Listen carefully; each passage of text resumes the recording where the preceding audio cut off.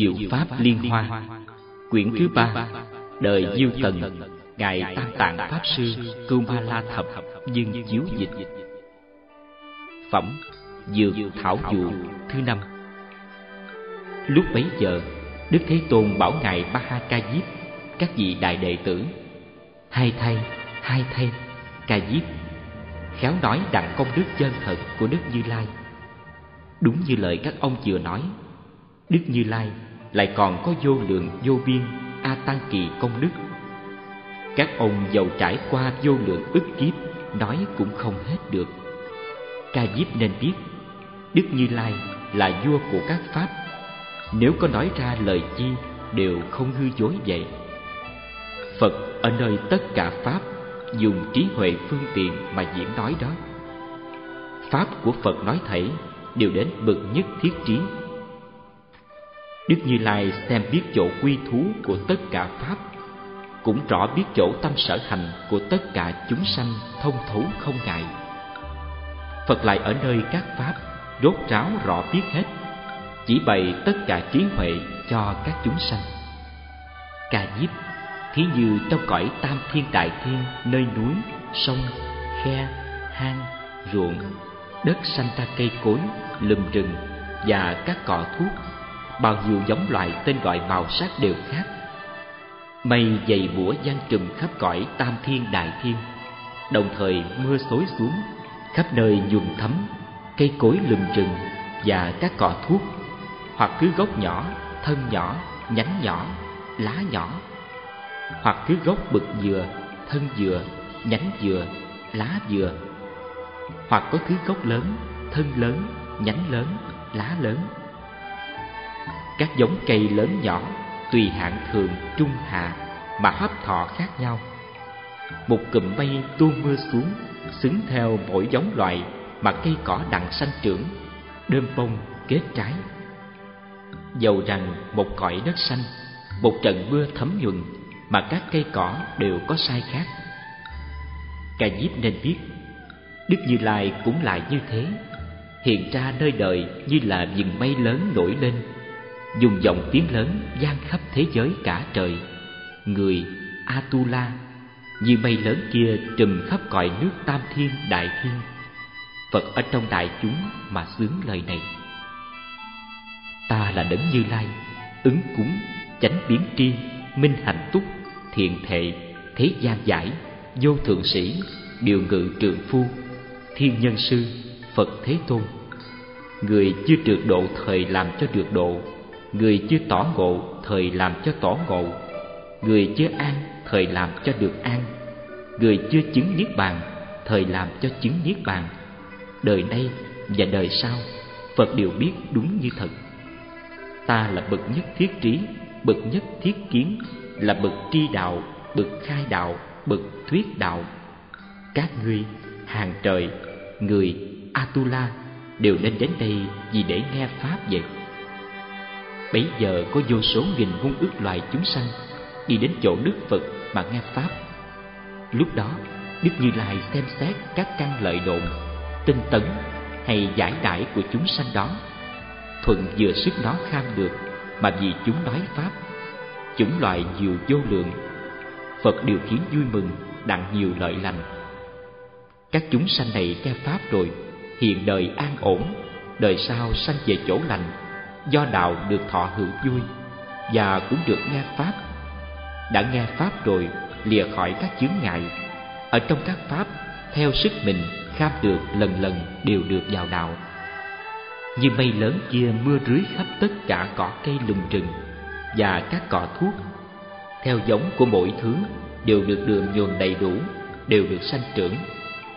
Đức như lai nói, pháp một tướng một vị, nghĩa là tướng giải thoát, tướng xa lìa, tướng diệt, rốt ráo đến bậc nhất thiết chủng trí.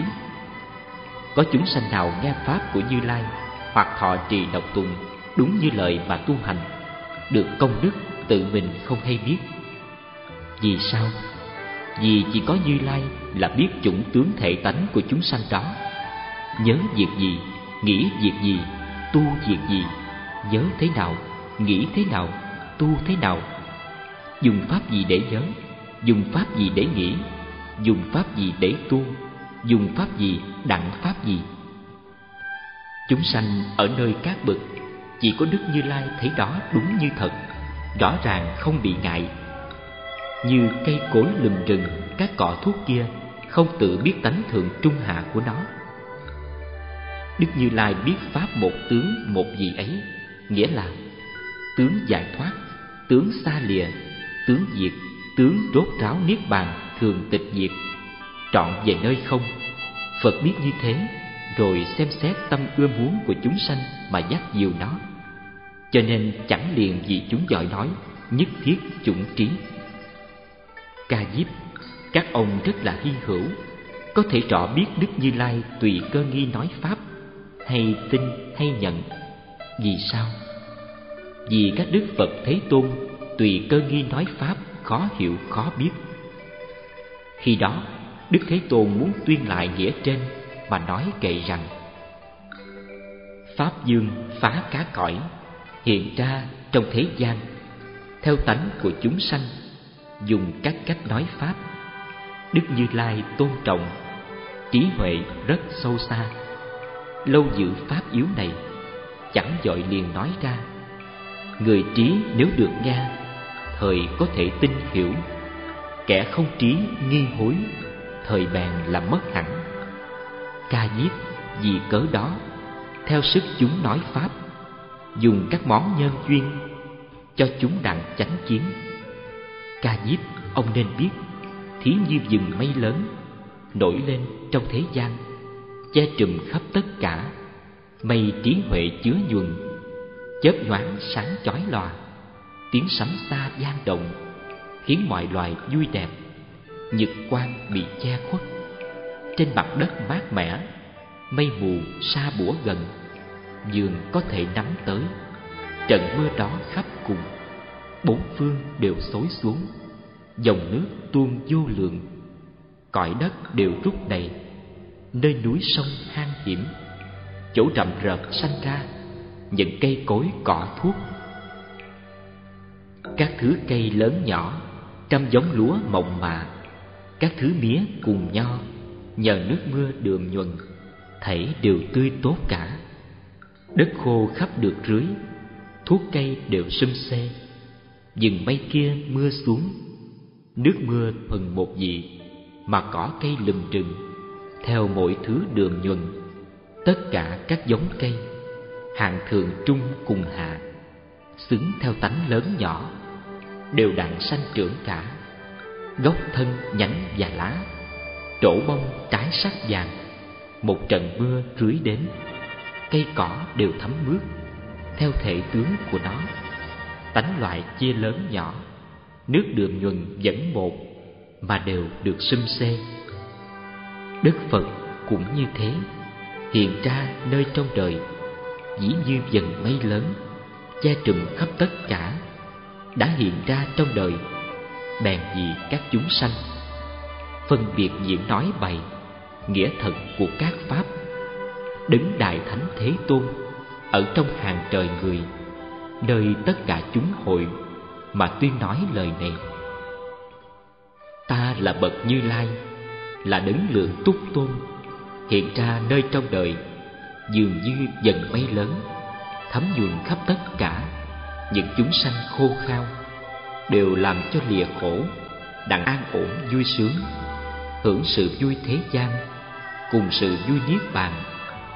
Các chúng trời người này một lòng khéo lóng ngang, đều nên đến cả đây, ra mắt đấng vô thường.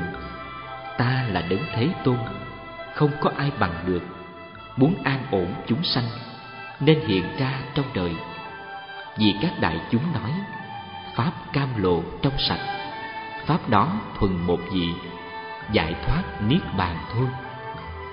Dùng một dòng tiếng màu, diễn xướng nghĩa nhiệm này, đều thường vì đại thừa mà kết làm nhân duyên. Ta xem tất cả chúng, khắp đều bình đẳng cả, không có lòng bỉ thử, cùng với tâm yêu ghét. Ta không chút tham đắm, cũng không có hạn ngại hằng vì tất cả chúng mà bình đẳng nói pháp. Như khi vì một người Lúc chúng đông cũng vậy. Thường diễn nói Pháp luôn Từng không việc gì khác Ngồi, đứng hoặc đến đi Trọn không hề nhàm mỏi. Đầy đủ cho thế gian Như mưa khắp thấm nhuần Sanh hèn cùng thượng hạ Giữ giới hay phá giới Ai nghi được đầy đủ và chẳng được đầy đủ. Người chánh kiến, tà kiến, Kẻ độn căn lợi căn Khắp rưới cho mưa pháp Mà không chút nhàm mỏi. Tất cả hàng chúng sanh Được nghe pháp của ta, Tùy sức mình lãnh lấy, Trụ ở nơi cát bực Hoặc là ở trời người, Làm chuyển luân thánh dương. Trời thích phạm các vua, Đó là cỏ thuốc nhỏ.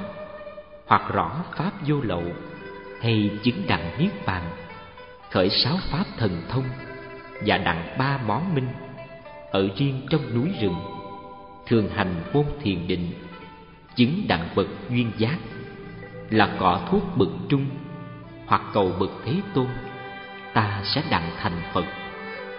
Tu hành tinh tấn định là cỏ thuốc bậc thượng, lại có hàng phật tử chuyên tâm nơi phật đạo, thường thực hành từ bi, tự biết mình làm phật.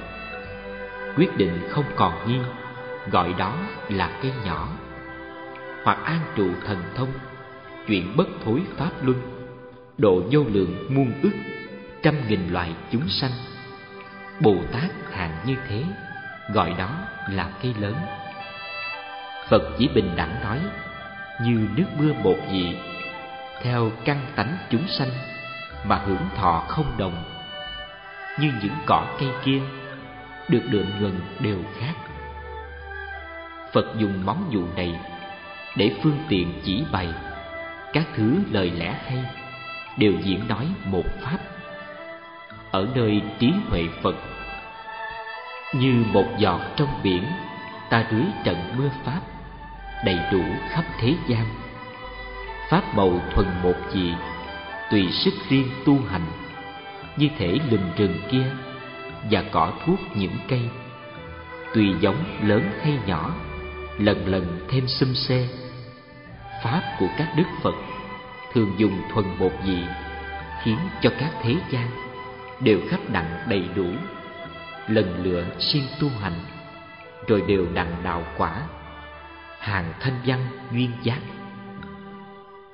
ở nơi chốn núi rừng, trụ thân hình rốt sao nghe phật pháp đặng quả, đó gọi là cỏ thuốc. Đều đặng thêm lớn tốt.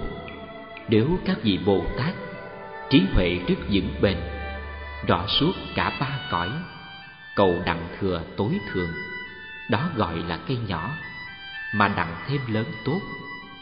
Lại có vị trụ thiền, đặng sức thần thông lớn, nghe nói các pháp không? Lòng rất sanh vui mừng, phóng vô số hào quang, độ các loài chúng sanh. Đó gọi là cây lớn, mà đặng thêm lớn tốt. Như thế, ca diếp này, đức phật nói pháp ra, thí như dừng mây lớn, dùng nước mưa một vị đượm nhuần nơi hoa người, đều đặng kết trái cả. Ca diếp, ông phải biết, ta dùng các nhân duyên các món thí dụ thể, để chỉ bày đạo phật, đó là ta phương tiện, các đức phật cũng thế. Này ta vì các ông nói việc rất chân thiệt, các chúng thuộc thanh văn đều chẳng phải diệt độ. Chỗ các ông tu hành là đạo của bồ tát, lần lần tu học xong, thể đều sẽ thành phật.